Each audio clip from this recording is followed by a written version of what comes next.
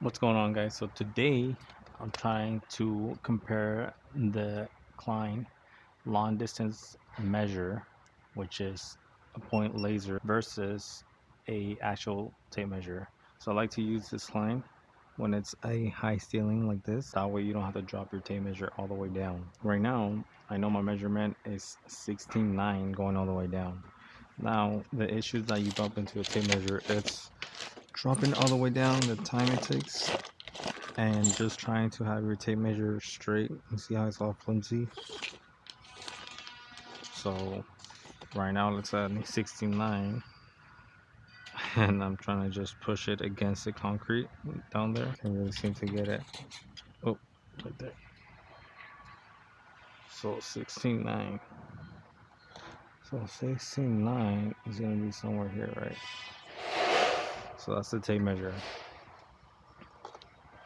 So now, you see all the time it says to roll it all the way down there. Now, we use the Klein laser. There's different features of these where you can measure by feet, inches, only inches, or meters too. So you just point down like this, and right now I'm measuring from the top. And you see how it's marking 69 on my mark. And that's it. Just using this laser. I didn't have to drop my tape measure all the way down. And you can see down there there's a dot laser that's giving my measurement. So if you want to save it you just click here.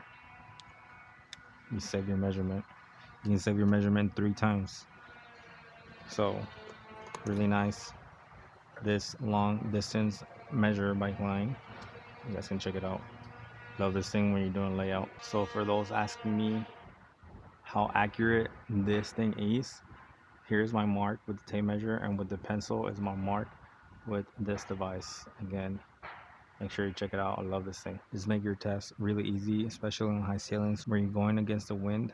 And you know sometimes your tape measure might not work out. So this is a great thing to find those measurements and layout Just like that.